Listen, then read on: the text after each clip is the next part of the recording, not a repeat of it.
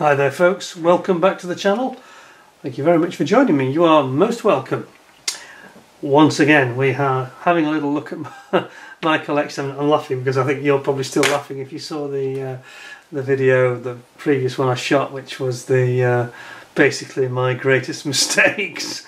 Uh, the couple of models that I made a real botch of. Uh, hope you've calmed down now, you've not had a seizure from laughing about them but let's move on to some slightly better ones. Um, so we're talking tanks today, armour. And I think one of these tanks you've seen before, but I think most of them you haven't seen. So I think the one you've seen is actually the one that's in the middle, which is the uh, the Tamiya mid-production Tiger, Michael Wittmann. And if we have a good close look at that, there we go, in the foreground now. Um, yeah, uh, I'm quite proud of that one. I think I did a reasonable job. It's quite a basic kit, but I added the Friul tracks and give it a nice Normandy paint job. Um, it's not overly weathered. It's the tank 222, which is the tank that was used by Wittmann, uh, a last minute replacement tank in fact, that he used at Villers-Bocage in that terrific battle that he, he knocked out, I think 14 vehicles pretty much single-handedly. Uh, caused real problems for the British Army um, out tanks and half tracks and all sorts of Bren carriers and all sorts of things. But anyway, a legendary sort of tank in a very famous encounter. Also in the background, we've got an extreme background behind the Tiger is the King Tiger, which is also the Tamiya kit. Um, it's the Ardennes one that comes uh, with the motorcycle, motorcyclist and the figures as well. Um, several of the figures that you can see are in fact from the Panzer Aces series, which is the uh, ICM figure set in 35th scale. Uh, really good, recommend them. Very, very nicely done, really well moulded, sharp, not flashy, nice kit, you know.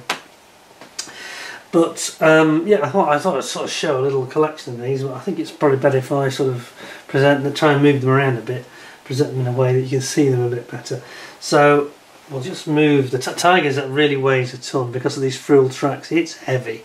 It's the heaviest model tank of all of them. I'm going to be very gentle. I'm going to move this chap, this chap here that's loading the uh, 88mm shell. Just, just take a look at him for a second. He reminds me of Mr. Spock.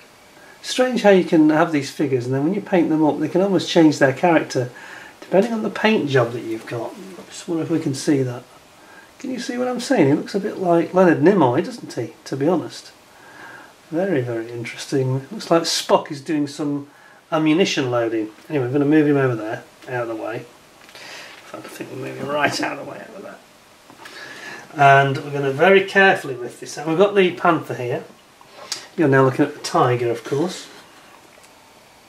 Which we need to sort of move around a bit so you can see them all. So I'm going to just rotate our turret for this panther over there. Wait, move this very heavy tiger. It really is a heavy tank for a kit. It's all the metal in the tracks. It makes it weigh an absolute ton. Right, so now perhaps we can get a bit of a better look at this uh, King Tiger, Koenigs Tiger in the background. Let's have a closer look at this. This is from, as I say, it's the Ardennes set and uh, I just rotate my turret around a bit more out of the way. Um, if you look carefully on the right there, you can see that's the motorcyclist that comes in the set from Tamiya, who is shouting updates to the, uh, the Tiger uh, commanders. Uh, it's giving the sorry the King Tiger commanders in shouting some more updated orders and instructions for him, and he's riding a I think it's a BMW, it's a KW uh, anyway, it's one of the German motorbikes. And yeah, so we have there the uh, there's the King Tiger. Now, here's a word of warning for you modelers out there. Uh, if you haven't built many of these armour kits and you've seen perhaps in some of the reviews where we have a nice turned metal barrel, for example, and they're really nice, some of these turned barrels. And they, they always look better than a plastic one, generally speaking. One exception actually was the Tiger, where I actually decided in there, I bought the metal barrel, and I didn't think it was the right scale. It was too thin, I thought, the barrel. It wasn't right, and I thought the, the one in the kit looked more scale-like, so I went with that. Generally, The metal ones are better. But here's a word of warning. You can see here, if you look very carefully at the front of this barrel, uh, where it comes out from the mantlet at the front of the turret. If You look very, very carefully, you can see I've actually got a jerry can just helping prop it up because this is a master model, I think it was. Um, it's okay now because it's um, not been used for a while, but if I leave that for 10 minutes, it'll probably droop down because of the weight is so great. Uh, and this is the danger with adding some of these extras. You do find that uh, it creates a whole new series of problems. Anyway, I'm quite pleased with my Ardennes Tiger. I didn't, didn't do a terribly great job with the weathering. Um, there's one or two shell holes in it, but this is where expertise and experience comes in. I built that about six years ago, maybe more. Um, they're not, not quite right, those shell marks. They're not the most realistic you've ever seen. The weathering's a bit rudimentary and lazy, to be honest, on that one.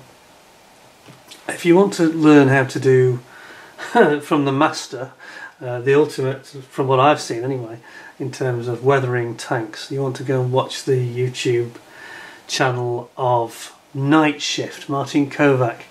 This guy's an absolute genius.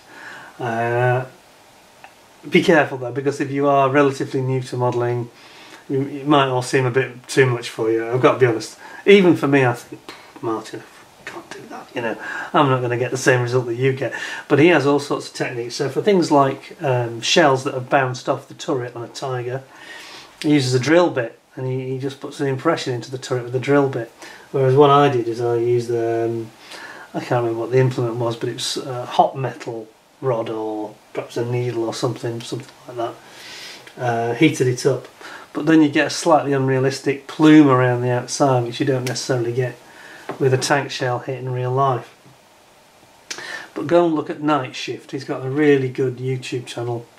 Can't recommend that highly enough. He must be the the, the cleverest modeler I've ever seen, and the effects he get. He can do everything. He can do dioramas and buildings, and he's amazing. So I'm not trying to promote other people's stuff, but he stands out as being unique. Definitely worth a look. Anyway, I'm no no competitor to him, that's for sure. Nowhere near his skill. But I quite like my King Tiger. It's got the Ardennes camo on it, um, and we've got a motorbike, so that's a it's quite a nice one. Does the job. Sits nicely in my collection. I've got my uh, my figures, which are the Tamiya ones, of course. Uh, come standard in the kit, provided you get this sort of Ardennes version. But let's have a little closer look. There we go. Yeah, they're quite nice figures, and uh, I say I mixed them in with the Panzer Aces ones. Uh, this has got a turret on the King Tiger that is. It does include the breech and all the uh, the gun racks inside. Can you see the ammunition racks? See the ammo stacked up inside the turret? It's quite narrow access, isn't it, to get out through there? Uh, that's not going to be easy in an emergency, I don't think. But anyway, um, yeah. So as I say, I didn't do the greatest uh, the greatest modelling job on this. I think that if I had it again, I'd do a lot more weathering, try and be a bit more gritty and a bit more realistic. But it's a pleasant looking King Tiger. So we'll put that aside. Now then, we seem to have been very focused on these uh, these Nazi tanks. How about an Allied tank? And in this case, something a bit different. How about the T-34? T3476 I think it is. Uh, it's the ICM kit. And I have to say, a really nice kit as well this. Um, yeah, it's got everything you need. Um, that very strange uh, road wheel layout that the uh, the T34 had where you have uh, you can see the impact can't you we know the Germans had problems with their materials and they ended up with a steel wheel Tiger well on this T34, I think the original iteration of it had all rubber wheels, but then they dropped them on the inner three road wheels, as you can see. Only the front one, the first and last, so to speak, have got the rubber, the rubber tread on it. Interesting. But it's a really nice kit, bit of uh, winter weathering on it. It's definitely aimed at the, uh, it's the eastern front in winter, this one. Um, very easy to build, nice kit to be honest. I can recommend that one to you, not very expensive either. And of course ICM are in the Ukraine and uh, they're definitely a, one of the most improved model kit companies there is out there at the moment, I'd say. So yes, we like that one. Quite impressed by this. Um, nice tank. No interior detail on this one, unfortunately, but, uh, there we have it. So I'm going to move that aside. The exhaust at the back, look, bit of detail there for you. A little bit of weathering going on. Yeah, got the horrible brown pinky snow when the snow sort of uh, gets muddy. Uh, but I didn't go mad with the weathering, just, just a gentle job on it. Then we've got the Panther. Now then, wants to come in. Now this is this is one of my earliest tanks I did. Uh, of the 35th ones, I think it's the earliest one. So it's not got very advanced weathering or painting techniques, so please bear with me on that. Whereas the Tiger was the last one I think I made. No, sorry, T34. T34 was the most recent, and the Tiger before that. But here we have the uh, the Panther. It's got the uh, kill rings on its barrel, showing the tanks it's knocked out. We've got some of these um, Dragon uh, Normandy Panzer Aces I mentioned, characters. Um, and it's it's the Tamiya kit. It's the Tamiya uh, Panther F. Is it the F? I think it's the F. The old kit anyway. This is an old old kit. Been going since the 80s. Um, but it's a nice kit, builds up okay. You can always enhance it with a few things if you want to. Or there's the Ausf G has come out more recently. And yeah, you know, uh, it's up to you really. I think the beauty with tanks is you can't really go wrong. I mean, I am, um, one or two of these I've done, I think, quite a nice job on. Other ones I've been very, very bone idle and lazy. Doesn't make that huge a difference, whereas on something like a racing car and aircraft, it, as we've seen, it does. Um, but with army, you can get away with a lot, you know. But the beauty is you can always go back. I mean, I can go back now to this. I feel inclined and you know do a wash on it, do a little bit of streaking and some rust and some grime, uh, maybe a bit more mud and stuff. You know, you've, you've always got the option to go back and do it, enhance it a little bit more. I'm going to move him aside, our panther. Um, I've got one or two figures here now. I'm going to move in Move him aside as well, our uh, motorcyclist friend. Oh, we've got a cat here in the background. Uh, this is a model of uh, a scale model, my cat that I used to have. She's sadly no longer with us, but uh, yeah, we lost her a number of years ago. But um, I modelled this very accurately uh, based on all the photographs I had of her. So the actual, sorry, the actual patterns, the detail of a her fur, colours, etc. are very, very accurate. Uh, our cat was called Scampy, and uh, yeah, I, uh, I, I did a scale model of her right down to individual markings on her legs, as you can probably see. And uh, yeah, I was very pleased with that. And it, it, sits in the cabinet, and she, of course, she's sitting on a, a Panther. I think they are 75 millimeter Panther tank shells box. So there we go. so that, that just shows what you can achieve, I suppose, if you want to get get really detailed with your painting and uh, trying to make something a, a, real scale replica of something in real life, you know. Now then, we also have here a German soldier. He's one of the Ardennes guys again. I think he's one of the Normandy Panzer Aces. Uh, Russia, uh, sorry, he's the um, Ardennes winter uniform he's got on, of course. And uh, this is nice. He's got the Panzerfaust in his left hand, and he's got a, not only he's got a, he's well armed. He's got a rifle, a Mauser rifle. He's got a stick grenade, a potato masher, as we sometimes call them, and a Panzerfaust in his hand as well. So he's well, well prepared for the attack across the Ardennes forest and uh, yeah he's got plenty of weapons on him that's for sure. Okay now then. To see if I can get him to stand up. There we go. And then last but not least how about some allies? Because we seem to have a lot of Germans here. I think we need to rebalance the situation. I'm going to come back a bit. I'm going to move in my little tray here. It's got our allies on it. Here we go now then, let me just ask you a question here. We've got a Sherman Firefly, we've got an American Jeep. It's the only GI that I've got. I need to change that actually. I uh, as I was preparing this, it just occurred to me. I thought, well, where are the Americans? You've got plenty of American planes, but you don't have too much American armour. Obviously, you know, the uh, got the American star on the Firefly because it was the the Allied agreed markings. But I need to redress that band. I seem to have got a lot of uh, German Nazis here. Somebody once came to my house, a visitor, and said, "You got? Are you a Nazi?" I said, "What do you mean?" He said, "You've got all these Nazi planes. We've got a lot of RAF planes as well, but anyway, they only saw the Nazi ones." Um, we've got uh, we've got some American uh, USAF stuff as well, but we need to get some more American troops. I think uh, I'm going to have to invest in a good set. I might look around. Some American infantry, that'd be quite cool. Anyway, in the meantime, we've got some British infantry. I'll zoom you in so you can see a bit better. Bring the, the light in over here because it's a bit far away. Go. Now then, these are. This is the um, Sherman Firefly, the Normandy Sherman Firefly, with its uh, 16 pounder gun, uh, 17 pounder I should say. Um, and we've got, it comes with this, uh, it's the Asuka kit that is rebranded for Tamiya, a really, really nice kit with these figures. And we've got the uh, British Army Patrol, uh, infantry patrol going out to support the Sherman. Now, if you look at the Sherman, something very odd that struck me about this. Just look at the captain of the Sherman tank. Who does he remind you of? He looks like Prince Harry. he really does look like Prince Harry. I'm going to bring him up closer so you can see what I'm talking about.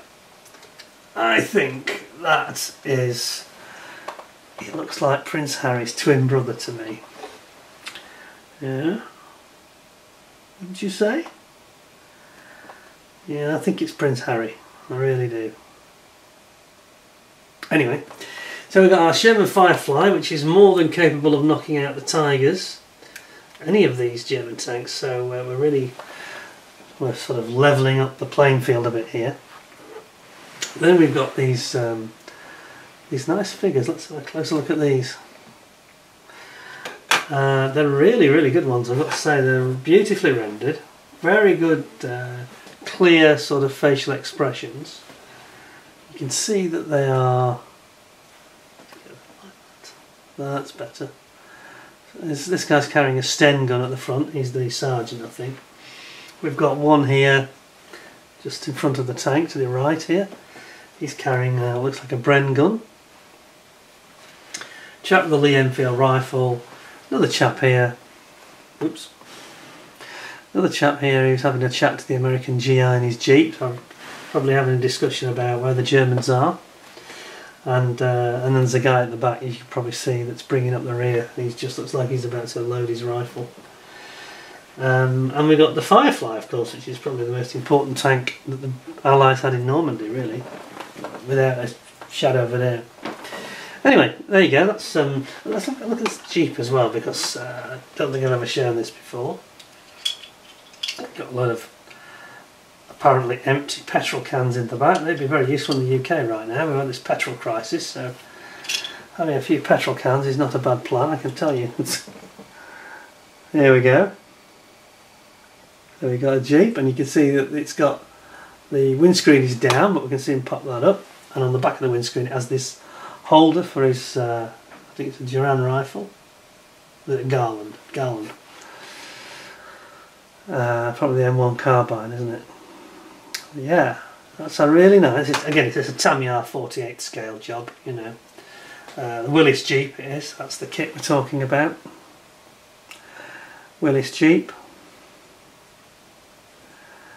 And uh, it's a nice kit, you know, can't fault it at all. And nice that it comes with the figure. There we go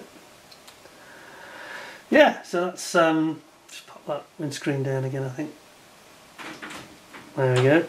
They tended to drive around with the windscreen down, simply so that they could uh, quickly grab onto the uh, get hold of the rifle really quickly uh, in emergency. Um, perhaps windscreen would be up if it was raining, obviously, but I think generally that was the way it was portrayed. But um, yeah, we've got quite a nice um, Nice Sherman, some nice figures. Uh, unfortunately, this kit, I'm going to be sounding like I'm teasing again. This kit, the Sherman Firefly with the figures, is not in production, I don't think, anymore. I think it was a limited run for the um, 2014 Normandy, um, would that be 60th anniversary, was it? 70th anniversary, 70th anniversary in Normandy. And consequently, I don't think you can get your hands on it. You, you probably can on eBay. You shop around a bit, you'll probably get one. But say, it's the Asuka kit. So if you see under the Asuka branding, or the Tamiya kit, definitely recommend it. I mean, Tamiya do these kits now, uh, armour kits, like recently they've released the Sheridan, which has got these Vietnam Vietnam War era American GIs. Fantastic uh, figures. Some of the nicest I've seen are in that kit. Really nice. And then they released the Achilles, which is the American M10 tank destroyer, but the British version of it with the um, 17 pounder again, the same gun. And again, some British um, figures. Excuse me. And it's got beautiful figures in it. It's got uh, lots of weapons and there are Sten machine guns uh, that, that, they have stowed around the, the open turret because it has an open turret, of course. Really, really nice kit. Uh, recommend that one to you very, very highly indeed as well. So some beauties. I mean, I have to, I have to confess that most of these are Tamiya. Um, if you want the ultimate in uh, kits with figures, you're probably going to have to go for Tamiya. But if you want the ultimate without figures, I think Ryefield, the likes of Ryefield and Dragon, excuse me, I think it's probably the dust from these old models make it go. they haven't been out in the cabinet for a while. But yeah, Dragon have got some nice kits, and then Ryefield have got some absolutely stunning ones, you know. And Meng as well. Meng do some lovely kits. They've got a lovely uh, Jagdpanther, which I've got. Actually, I haven't built that one yet. That would go very well with this set, wouldn't it? Mm. and in fact, I mentioned Night Shift on his um, channel, and I think he was doing a, uh, a, video which I haven't had time to watch yet, and that was actually at the weekend. So there's a there's a really good one about building a Normandy Jagdpanther. Anyway, I need a cup of tea, obviously, so I'm going to leave it at that.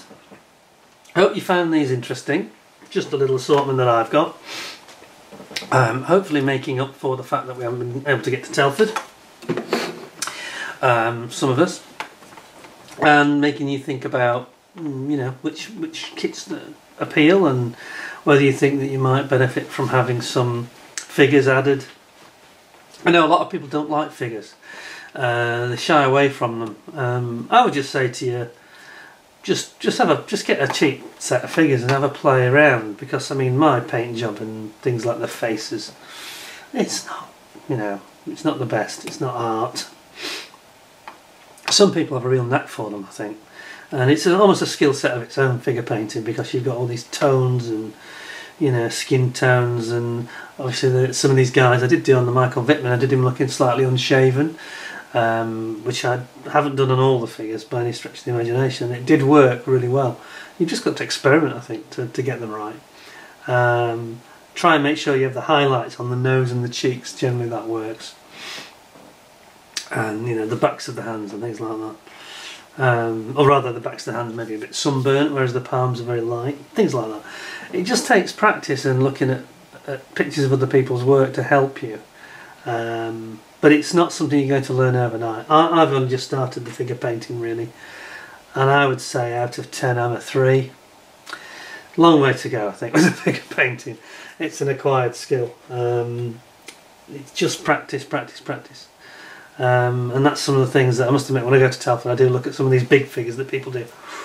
Some of them are so lifelike aren't they? They're quite incredible. The tonal range in the you know, people's faces and the, the lines on their faces and all that kind of thing absolutely incredible. Anyway, hope you found it interesting just to have a nosy at my few of my armour kits, some of the ones you won't have seen before. Um, I might have a final video where I just dig out some of my better kits. You may have seen one or two of them, I don't know, but um, hopefully they'll be, if you haven't seen them, it might be food for thought and uh, help you select your next model if it's your cup of tea. Anyway, in the meantime, I hope you'll uh, give us a thumbs up, uh, ding the notification bell uh, for those subscribers that haven't done yet, for the early warning for the next video. And uh, until the next one, I just say thank you very much for joining me and uh, giving me your time. Uh, please look after yourselves and bye for now.